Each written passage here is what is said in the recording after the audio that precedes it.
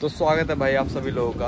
Hattie में cap Asian में, जिसको माना जाता है, माना क्या मतलब सेंसस के हिसाब से ये है अमेरिकाज की मतलब सेंट्रल साउथ नॉर्थ अमेरिका की सबसे करीब कंट्री भाई स्वागत है आप सभी लोगों का। हेटी में अभी बज रहे हैं, कल आ गए थे हम। कल हम दोपहर में चार एक बजे के करीब आए होंगे और अब अगले दिन के दोपहर के दो बज रहे हैं। सुबह ब्रेकफास्ट कर लिया था नीचे ही। ये अपना एक होटल है। वैसे तो ऑनलाइन तो फोर स्टार लिखा है, पर भाई अगर इंडिया में होता तो इसको शायद कोई फोर स्टार ना देता। स्विमिंग पूल वगैरह भी उसी तरफ़। और ब्रेकफास्ट भी अच्छा था, मैं कहूँगा। डिसेंट था। बूफे टाइप नहीं था, आपको चूज़ करना पड़ता था। हमने पैनकेक्स वगैरह चूज़ कर लिए थे। ये हमको होटल पड़ा है एक रात का 65 डॉलर्स के करीब। ऑनलाइन काफ़ी महँगा दिखा रहा है, पर हमने हॉस्टल वर्ल्ड डॉट कॉम एक साइट है। उससे बुक किया था उस पर सबसे सस्ता आ रहा था तो उससे बुक कर दिया था हमने। तो यहाँ से आप देख सकते हो केप हेशियन का शहर केप हेटियन कहेंगे आ, हम जैसे लोग मतलब यहाँ पे आके पता चला केप हेशियन कहते हैं ये। हेटी की कैपिटल तो है Port-au-Prince. Port-au-Prince पर वो अभी बहुत ज़्यादा सिविल वॉर से जूझ रही है। स्टेबिलिटी नहीं है गवर्नमेंट करप्ट है दंगे फसाद बहुत ज़्यादा हो रहे हैं। तो वहाँ पे ज़्यादातर ट्रैवलर लोग जाना पसंद नहीं करते। और मेरे को भी अभी इतना रिस्क वगैरह लेने का मन सा नहीं था। तो मैंने भी ये केप हेशियन चूज़ किया, जो कि हेटी के नॉर्थ में है, जो आप मैप पे अभी देख रहे होगे। तो ये काफ़ी रिलेटिवली सेफ़ पार्ट माना जाता है हेटी का। यहाँ पे हमने होटल वालों से पूछा तो कहते हैं, नहीं नहीं सेफ़ है, आप बाहर जा सकते हो, कोई दिक्कत वाली बात नहीं है। और आप सात आठ दस बजे तक बाहर घूम सकते हो तो तब तक कोई दिक्कत वाली बात है नहीं। और एक यहाँ पे एक स्पेशल जगह भी है जिसको कहते हैं लबाड़ी बीच लबाड़ी बीच क्या था? भाई आपने अगर कैरेबियन आइलैंड्स की मेरी सीरीज़ देखी होगी जो हमने क्रूज लिया था रॉयल कैरेबियन उन्होंने लबाड़ी बीच एक तरह से खरीद लिया और उसके चारों तरफ़ फेंसिंग वगैरह करके गार्ड्स वार्ड्स ये सब बिठा दिए। उसको सबसे सेफेस्ट मानते हैं और उसमें आप जा भी नहीं सकते हो। आ, उसमें सिर्फ़ जो रॉयल कैरेबियन के क्रूजेज आते हैं जिस टाइम यहाँ पे डॉक होता है शिप वो वहीं पे रुकता है लबाड़ी के पास। और वहाँ पे जितने भी टूरिस्ट है, सारे घूमते हैं, क्योंकि सिटी को काफ़ी डेंजरस मानते हैं आज भी। तो रॉयल कैरेबियन मतलब उनको असली हेटी नहीं दिखाता। उनको मतलब बस एक प्रोटेक्टेड एरिया में घुमा देते हैं और फिर वो अपने शिप पे बैठ के वापस चले जाते हैं। तो अभी हम जा रहे हैं भाई, यहाँ से एक रेस्टोरेंट है लंच करने जा रहे हैं हम। दो किलोमीटर दूर है तो पैदल चलते चलते मैं आपको जितनी सिटी दिखा पाऊँगा, फिर वापस आते हुए जितनी सिटी दिखा पाऊँगा, वो हम दिखाएँगे। और शायद आज रुकें और हम कल भी रुके यहीं पे। फिर हम बॉर्डर पार करके चल जाएँगे डोमिनिकन रिपब्लिक जो इसकी नेबरिंग कंट्री है, जो इसके बिल्कुल ऑपोजिट है और बहुत ज़्यादा डेवलप्ड है पॉलिटिकल स्टेबल है और काफ़ी सेफ़ मानी जाती है। और हेटी अमेरिकाज में एक ऐसी कंट्री है जो इंडियंस को वीज़ा नहीं चाहिए हेटी आने के लिए, क्योंकि आता ही नहीं है कोई कोई डायरेक्ट फ्लाइट्स भी नहीं है यहाँ पे आने के लिए। या तो यूएसए से आती हैं या फिर छोटे मोटे आइलैंड से आते हैं, जहाँ पे इंडियन बंदा कोई पहुँच ही नहीं पाता। इसलिए इन्होंने वीज़ा फ्री भी कर रखा है। उल्टा अपोजिट साइड बॉर्डर पार करके डोमिनिकन रिपब्लिक इंडियंस को वीज़ा चाहिए। अगर आपका शेंगन यूएस वगैरह है तो वीज़ा फ्री है। क्योंकि इसलिए, क्योंकि डोमिनिकन काफ़ी डेवलप्ड है, काफ़ी अच्छी इनकम है। हेटी की पर कैपिटा आपको इनकम बताऊँ तो है कुल मिला के दो हज़ार डॉलर पर साल से भी कम। मतलब यहाँ का एक एवरेज बंदा डेढ़ लाख रुपए से भी कम पैसे कमाता है साल में, जो कि इंडिया के एवरेज से भी काफ़ी कम है। तो आप उससे अंदाज़ा लगा सकते हो कि ये देश इतना गरीब है। और जो देश मैंने देखे हैं जिसमें इनकम कम है वहाँ पे क्राइम रेट ज़्यादा है ही। तो चलते हैं, घूमते हैं केप हेशियन के शहर को और आपको दिखाते हैं केप हेशियन हेटी ये है हेशियन गोरदे और मैंने बताया जैसे आपको इनके देश में बड़ी दिक्कत आ रखी है पॉलिटिकल इंस्टेबिलिटी दंगे, फसाद, ये सब चल रहा है। तो इसकी वैल्यू बहुत ज़्यादा गिर गई है। पहले एक डॉलर में आते थे भाई साठ, ये तो खैर पचास का नोट है। साठ आते थे हेशियन गोरदे तो इंडिया के रुपए से भी ज़्यादा मतलब वैल्यू थी इनकी। पर अब दो सालों में क्या हो गया? एक डॉलर में आते हैं डेढ़ सौ हेशियन गोरदे ये इनका सौ का नोट। तो चीज़ें मतलब अब यहाँ पे लोगों के और दंगे हो रहे हैं और इन्फ्लेशन बढ़ रही है। बाईस परसेंट पे इन्फ्लेशन चल रही है इनकी। ये पचास का नोट, सौ का नोट, ये ढाई सौ का नोट, ये पाँच सौ का नोट और ये हज़ार का नोट। तो हमने कुछ कल पचास एक डॉलर एक्सचेंज तीस डॉलर एक्सचेंज कराए थे, उसमें से अभी भी बचे हमारे पास। और आज फिर से हम पचास डॉलर कुछ एक्सचेंज करा लेंगे तो हमको साढ़े सात हज़ार हेशियन गोरदे और मिल जाएँगे। तो भाई बाहर निकल चुके हैं होटल से पहली बार चौबीस घंटे में। और कल जब हम आ रहे थे ना ये गाँव सा लग रहा था बिल्कुल और पहाड़ी के ऊपर है ये। तो जाते वक्त पैदल जा सकते हैं आते वक्त हमको वो बाइक टैक्सी सी लेनी पड़ेगी जो एक दो डॉलर दो डॉलर में छोड़ जाएगी शायद हमको दो किलोमीटर होटल है। और चलते हैं देखते हैं क्या माहौल है इस शहर का। गंभीर वापस उल्टे चले? क्यों क्या हुआ अभी? भाई चौबीस घंटे बाद पहली बार बाहर निकले होटल से बाहर निकलती एक चार साल का बच्चा होगा। निकलती उसके पास गए जाती बोला। तीन चार बार। तीन चार बार मेरे गर्दन काटेगा बोला हाँ। चलो चलते हैं भाई कोई दिक्कत नहीं है अभी तक तो। होएगा तो होएगा भाई अब क्या कर सकते हैं? होटल में बैठने तो आए नहीं थे। इससे खतरनाक खतरनाक देश ट्रैवल कर चुका हूँ मैं तो पहले और परमवीर भी।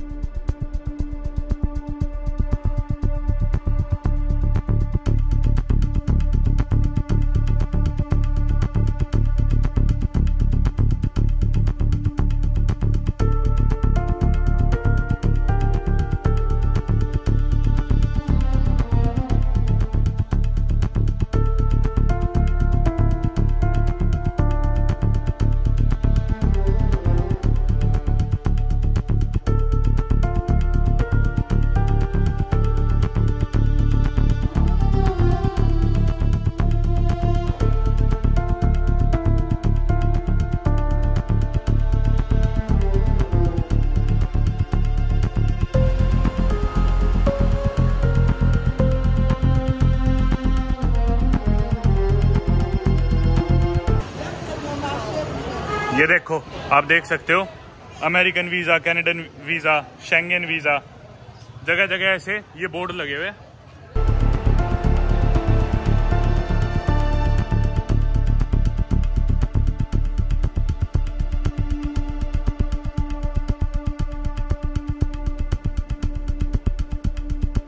भाई, अभी रोड पे लड़ाई भी हो गई थी परमवीर की, एक बंदे से। उसको परमवीर ने पीट दिया, बहुत बुरी तरह। ना समझा दिया उस बंदे को, धमका दिया। ये जो मतलब जो ब्लैक लोग होते हैं ना, देखो यार, अब कहोगे क्यों कह रहा है? मैंने अफ्रीका में भी कहा था, ये अपने आप को कहते ही ब्लैक हैं, ठीक है? तो ये लोग ना दूर दूर से बोलने के बहुत ज़्यादा होते हैं। कुछ नहीं करेंगे आपको। हाथ बहुत रेयर है कि बंदा आप पे हाथ उठाड़े। मैं सारी अफ्रीका कंट्री घुमाया, इतने लोगों ने चिल्ला, आखिरी में मैं लड़ाई भी करने लग गया था। इनका पता चल गया कि ये चिल्ला ही सकते हैं, बस और कुछ नहीं कर सकते। तो बस रेस्टोरेंट हम पहुँच ही गए थे। वो पीछे से चिल्लाता हुआ आ गया बंदा तो परमवीर ने उसको धमका दिया समझ गया वो बंदा फिर चला गया चुप पे। अब यहाँ पे रेस्टोरेंट आए और ये रेस्टोरेंट ना यहाँ पे सबसे महँगा है। मतलब पूरे केप एशियन में सबसे महँगा रेस्टोरेंट है ये। और यहाँ के आप रेट देख लो क्या है। हम्म, मैं दिखाता हूँ आपको। ये पास्ता है। दस डॉलर में इनके डेढ़ हज़ार बनते हैं। तो ग्रिल्ड चिकन क्रीमी पास्ता बारह सौ का है। मतलब दस डॉलर से भी कम की डिश है। इनका पिज़्ज़ा देख लो भाई। चेरी, सबसे महँगा पिज़्ज़ा बताता हूँ कौन सा। 1950 का लॉबस्टर पिज़्ज़ा 12 डॉलर में सबसे महँगा पिज़्ज़ा और ये सबसे एक्सपेंसिव रेस्टोरेंट है यहाँ का। और अगर आपको मतलब जूस वूस पीना है तो कोला एक डॉलर की है। सोच लो। ऐसी मतलब ये सबसे महँगा है यहाँ का, ये सोच के चलो आप।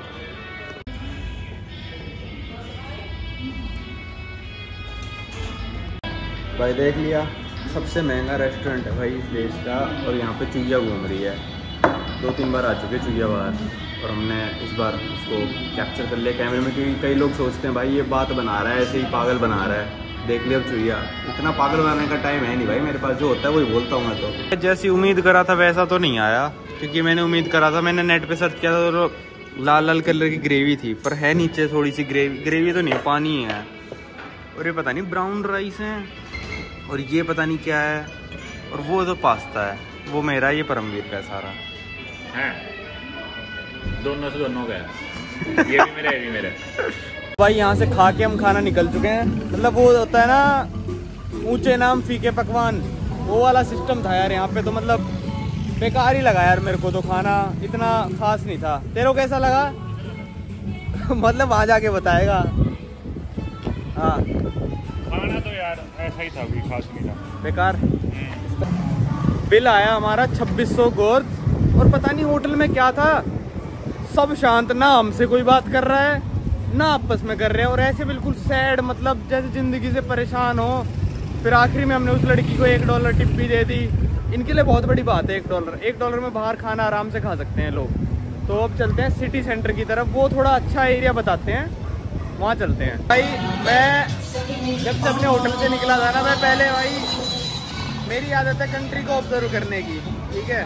और एक ये भी ले रखा है कि भाई दुकान पे चाकू और बंदूक अलाउड नहीं है साइन लगा हाँ।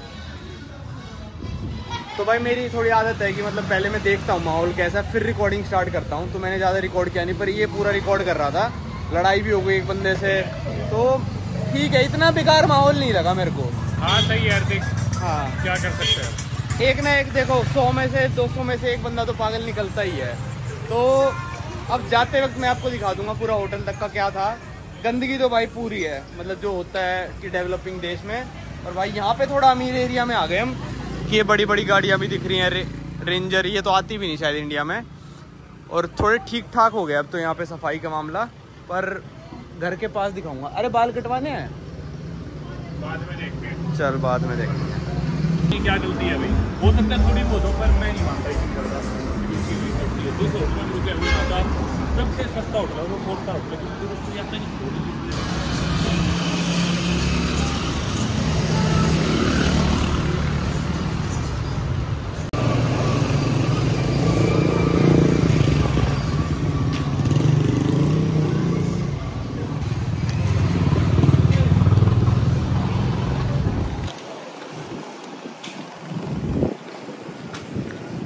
बाकी ये इलाका थोड़ा बढ़िया आ गया। अब हम सिटी सेंटर की तरफ़ जा रहे हैं। जो इनका शहर का शायद सबसे अच्छा एरिया है उसकी तरफ़। उधर मेरे ख्याल से कैथेड्रल होगा और थोड़ा आसपास का माहौल देखने के लिए।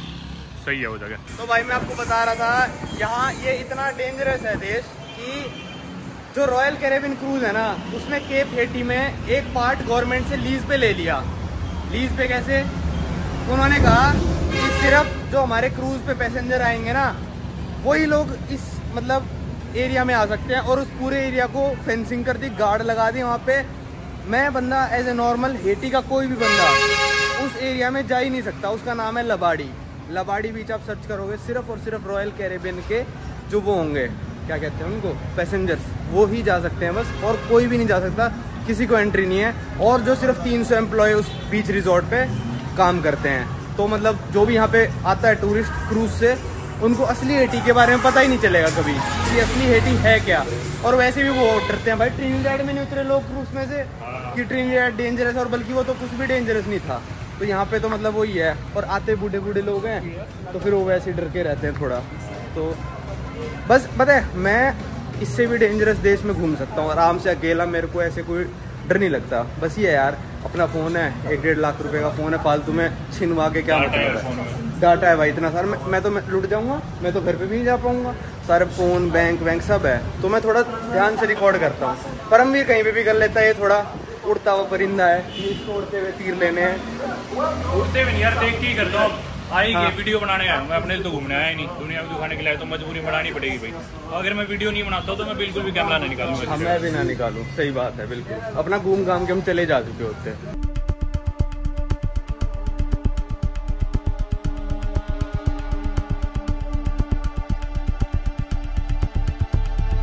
ये आप मेरे पीछे एक पुलिस वाला देख रहे होगे ब्लैक में। उसने बुलेट प्रूफ जैकेट पहन रखी है। इंडिया में कोई भी पुलिस वाला कितना ही वो हो। C R P F B S F जो एयरपोर्ट पे होता है कोई भी बुलेट प्रूफ जैकेट पहना नहीं दिखेगा आपको। और यहाँ पे नॉर्मल पुलिस वाला गलियों में बुलेट प्रूफ जैकेट पहन के घूम रहा है तो उससे आप थोड़ा अंदाज़ा लगाओ कि क्या हालात है इस देश के कि नॉर्मल क्या आ गया इनका सिटी सेंटर भाई सिटी सेंटर आ गए थे हम इनका और ये है टूरिस्ट ऑफ़िस इस पे हम गए थे मैग्नेट लेने क्योंकि मैंने फ़ोटोज़ में देखा था मैग्नेट है इनके पास पर अभी खत्म हो गए थे। तो इन्होंने एक और दुकान बताई है, पर यहाँ से थोड़ा दूर है और वो बंद हो गई। कल आना पड़ेगा।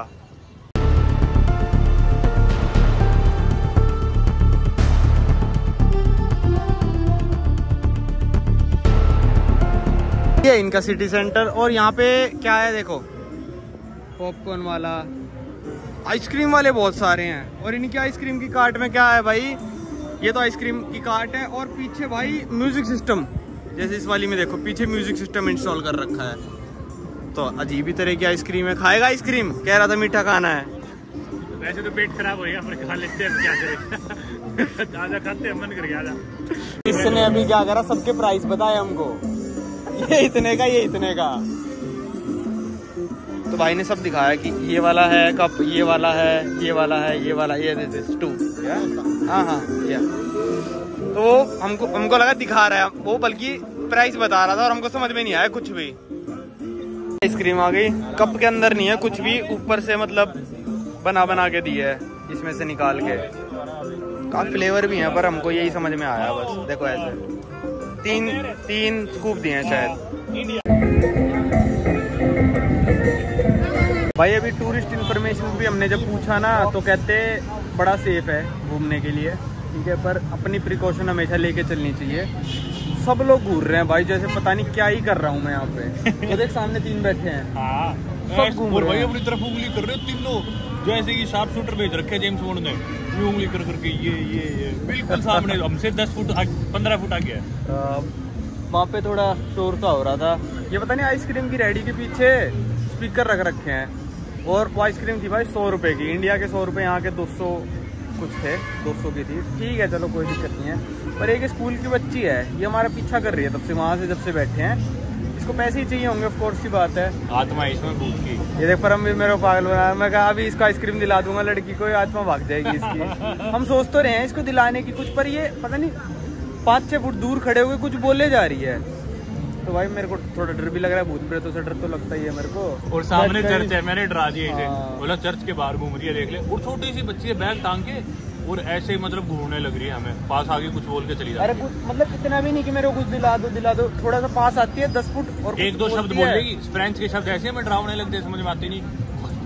और चली जाती है। हाँ वरना तो भाई मैं मतलब ऐसे कोई बच्चा बच्चा मांगने आ जाता है तो मैं दिला ही देता हूँ और भाई अफोर्डेबल भी यूरोप में तो वैसे ही नहीं आता कोई मांगने। हाँ। तो पर पता तो नहीं भाई। देखो मैं बताता हूँ कौन है वो देखो मेरे पीछे बच्ची बैठी है ना। वो है। भाई हमको हो गया पौना घंटा सिटी सेंटर में घूमते हुए। पौना जिसको नहीं पता मतलब 45 मिनट्स हो गए सिटी सेंटर में घूमते हुए। एक भी सुवेनियर की दुकान एक भी टूरिस्ट के लिए दुकान एक भी नहीं है यहाँ पे। तो इससे आप अंदाज़ा लगा सकते हो कि कितने टूरिस्ट आते हैं। कोई भी नहीं आता भाई यहाँ पे घूमने कोई भी नहीं आता। बस वो रॉयल कैरिबियन का क्रूज रुकता है और कोई भी नहीं आता यहाँ पे। सब लोकल्स के लिए है दुकानें सब ए टू जेड सारी की सारी। कोई टूरिस्ट प्लेस भी नहीं यहाँ पे। थिंक टू डू आएगा। एक हाँ एक सिटाडेल है। वो थोड़ा शहर से दूर है। उसके लिए आपको गाड़ी वाड़ी रेंट लेके जाना पड़ेगा। फिर वो है भाई हेटी का फ्लैग ब्लू और रेड कलर और बीच में कुछ कुछ मतलब इन्होंने बना रखा है। ये कोई सरकारी बिल्डिंग है। जा रहे हैं भाई यहाँ से वापस। और यहाँ पे फ़ेमस है बाइक टैक्सी और बाइक टैक्सी का हमने रेट पता किया था तो कह रहे थे 200 लेंगे कुछ एक डॉलर के करीब। और हमारा दो किलोमीटर है तो चढ़ाई पे है तो शायद ज़्यादा भी ले सकते हैं। पहले तो खैर ज़्यादा ही बोलेंगे वो तो हमको बार्गेनिंग करनी पड़ेगी। चले देखिए होटल का नाम क्या है। है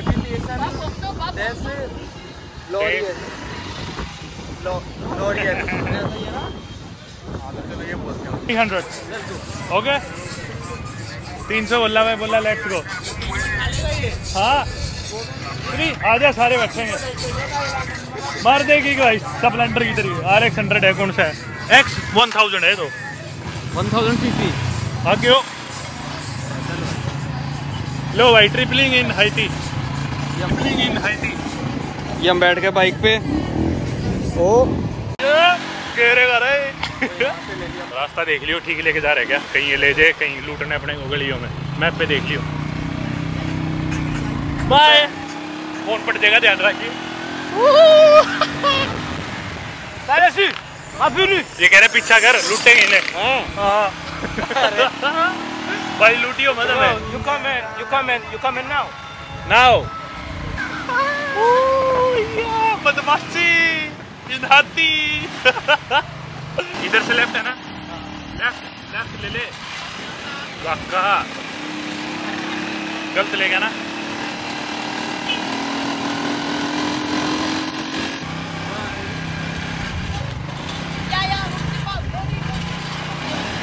मैं बाई कर रहा था उन लड़कों को। फ़ोन देखती बोले मनी मनी पैसे दो पैसे. स्टेप हमारी बाइक ले लो एक बाइक लेके आप ऊपर चले जाओ। पर हम बोले ना हम पैदल चल जाएँगे उतार दो। उसी सेकंड कुदरत ये जो होटल का मालिक था ये आगे उसी टाइम गाड़ी लेके बोली बोली मेरी गाड़ी में बैठो इनको जानते थे इनकी सेटिंग हो गई है। लोग तो अभी क्या हुआ कि हम बाइक पे आ रहे थे दो जने बैठ के तो वो जो होटल का रास्ता था ना ऊपर जाने के लिए उस पर तीन चार लोग चिल्लाने लग गए हे हे हे तो हमने कहा, पता नहीं क्या हो गया? तो कहते, यहाँ से एक बाइक पे ही बंदा जाएगा और ये वाली बाइक नहीं जाएगी, हमारी वाली लेनी पड़ेगी। तो होगा मतलब इस इलाके में मालिक वालिक होंगे भाई मतलब गैंग वैंग सी होगी। ये मतलब ऐसी झुग्गी झोपड़ी सा इलाका है। तो हम बाइक से उतर गए, हमने कहा, ठीक है भाई, हम पैदल चले जाएँगे, बाइक नहीं लेनी हमको तुम्हारी, वैसे भी हम पैदल चले जाएँगे। हमने बाइक वैसे ही ले ली, एक्सपीरियंस के लिए, हम आराम से पैदल आ सकते थे। इतने में क्या हुआ? लाल गाड़ी में ये होटल का मालिक है। कल भी हमको मिला था और ये आज फिर आ गया। ऐसे मुड़ ही रहा था ऊपर की तरफ़। इसके आते ही सारे चुप हो गए। कहते, ठीक है, तू अपनी गाड़ी में ले जाए इनको कोई दिक्कत नहीं और मतलब ये तो खैर फ्री में लेके आए हमको। तो मतलब ये तो है ही यार यहाँ के देशों में। ना दूसरों को कमाने देना, ना खुद कमाना। ऐसा है। तो भाई नहीं। तो भाई इससे मालिक से परमवीर पूछ रहा कि भाई, तेरे को भी तो मतलब ये लोग मार सकते हैं, पीट सकते हैं, क्योंकि तू इतना अमीर है। और तेरे यहाँ पे टूरिस्ट आ रहे हैं। तो ये कहता हाँ ऐसा कर तो सकते हैं भाई पर मेरी इज़्ज़त करते हैं क्योंकि पहले मैं इनको थोड़े बहुत पैसे दे देता था किसी कहीं इनको खाने पे बुला लिया। इसी जो मतलब एरिया में एरिया, में रहने वाले लोग हैं उनको मैंने नौकरी दे रखी है। और एक पीछे एक चर्च है जो कि चर्च है और स्कूल भी है वो इसने गिफ्ट कर दिया लैंड अपनी ज़मीन कि इस पे बना लो। तो इसकी वजह से इसको रिस्पेक्ट करते हैं। मतलब इन देशों में यही है यार। और देशों में कानून स्ट्रिक्ट है इसमें आपको रिश्वत खिलानी पड़ेगी लोगों को, अगर आपको जीना है तो अब यहाँ पे हो चुका है भाई सनसेट और यहाँ से ऐसी कुछ दिख रही है सिटी और भाई इसने बचा लिया हमको। पता नहीं वो कह रहा था कि यार सेफ़ तो है, आपको लूटे वूटे का तो कोई नहीं। पर मतलब हमको तो यार यही लग रहा था ना, फालतू में चिल्ला रहे हैं, हम वीडियो भी बना रहे हैं, पता नहीं क्या चिड़ गए हों, क्या हो जाता है। और कह रहा भाई यहाँ के मतलब जितने भी यूट्यूबर आते हैं, सब गंदगी दिखाते हैं। और, पर क्या करें यार, एक बात तो सोचो यार यूट्यूबर को भी अपनी मतलब ज़िंदगी चलानी है। अच्छी वीडियो ना कोई देखता ही नहीं है। सच बात ये है आज की तारीख में। मैं एक अच्छी मोस्ट ब्यूटीफुल बीच ये वो वीडियो बनाऊँगा ना, कोई देखेगा ही नहीं, कोई भी नहीं देखेगा यार। और ऐसी बना दो आप उल्टी सीधी वीडियो डेंजरस वाली, बहुत जनता आती है देखने। तो वही है, क्या करे बताओ? अगला दिखाने वाले भी मतलब